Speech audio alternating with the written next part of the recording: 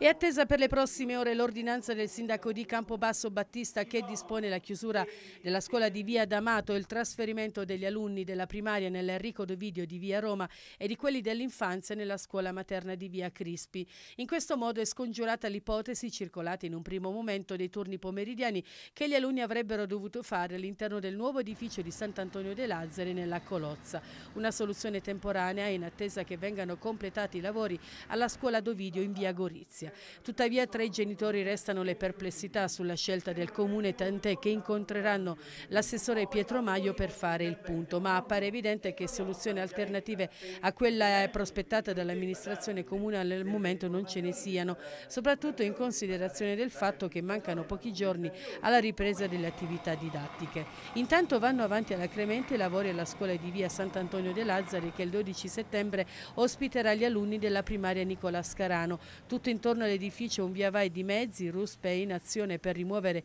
il terreno sul quale sarà realizzato un giardinetto, mezzi al lavoro per asfaltare il piazzale operai sul tetto per gli ultimi interventi. E a pochi metri dal nuovo edificio alla scuola media Colozza il personale scolastico sta completando il trasferimento dell'archivio e del materiale didattico che servirà agli alunni delle quinte classi della primaria di via Crispi che saranno ospitati al primo piano dell'edificio. Insomma, tutto procede come previsto, l'amministrazione ha trovato una sistemazione ai bambini della Scarano che lo scorso anno furono costrette ai turni pomeridiani al trasferimento fino a giugno alla Dovidio in via Roma tra mille disagi e tante difficoltà. Il nuovo anno scolastico sembra aprirsi per loro e per le famiglie all'insegna della tranquillità.